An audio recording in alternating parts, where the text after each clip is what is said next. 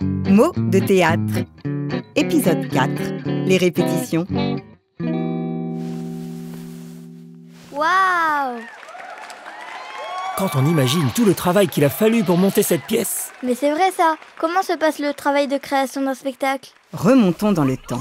Au tout début, il y a un texte, écrit par un auteur de théâtre, un dramaturge, il y a un metteur en scène et des comédiens qui vont chacun interpréter un rôle, un personnage. Bonjour mademoiselle Sarah Bernard. Les premières répétitions se font à la table, car c'est assis autour d'une table que les artistes lisent et analysent le texte, et ce pendant des jours, voire des semaines. Tout ce temps à table, mais ils vont avoir mal au ventre. Tu ne penses qu'à manger Être assise en classe sans bouger, c'est pire. Et comme à l'école, vient ensuite l'apprentissage du texte, et là aussi, ça peut être long. Très long. D'ailleurs, t'as appris ta récitation? Euh non, pas encore. Mais ce n'est pas la partie la plus difficile, car la mémoire des comédiens est bien exercée, un vrai turbo. Bouh. Et pour vérifier que le texte est bien su, on fait ce qu'on appelle des italiennes.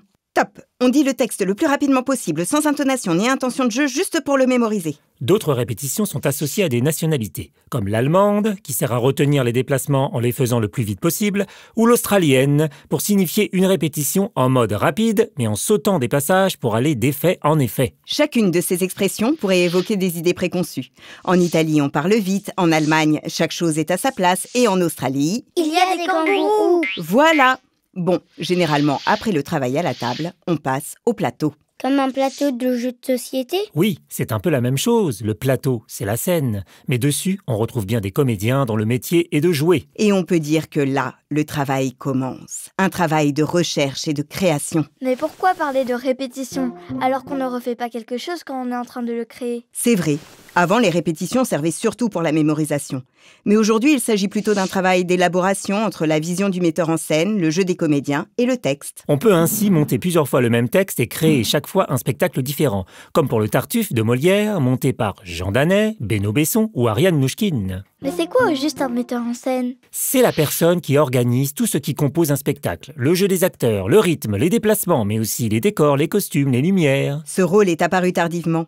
En France, André Antoine, avec la création du théâtre libre en 1887, est considéré comme le premier metteur en scène étant un créateur à part entière. Mais revenons à nos répétitions. Nous allons maintenant assister à un service. Un service à table? Non, un service, c'est la répétition d'une partie de la pièce qui ne nécessite pas la présence de tous les comédiens. Mais oh là là là, ça a l'air de chauffer par ici. Bon, maintenant tu te diriges vers la droite. Non, l'autre droite. Mais c'est ma gauche. Oh, cet acteur me retourne le cerveau. Bon, va à court. Ah d'accord. Aller à court? Et toi, pour ta sortie, tu vas à jardin, c'est compris?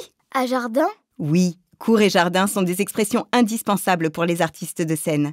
Car si deux personnes se font face, leur droite et leur gauche sont inversées. Donc pour éviter les confusions, il est plus simple de dire cours et jardin. Et quand on est sur scène, le côté court est du côté du cœur. Oui, en 1770, la troupe de la Comédie Française, installée dans la salle des machines du Palais des Tuileries, donnait d'un côté sur la cour du Louvre et de l'autre sur le jardin des Tuileries. Attendez, ils disent encore des choses. Allez, allez, allez, allez, tout le monde en place. N'oubliez pas, demain, filage complet, puis couturière, colonel et général. Oh là là, je vais faire un malaise, mais nous ne sommes pas prêts du tout. J'ai rien compris. Moi non plus. Alors, faire un filage, C'est filer de la laine comme dans La Belle au Bois dormant. on peut tirer le fil de l'histoire si tu veux, mais un filage, c'est jouer la pièce en entier, sans interruption.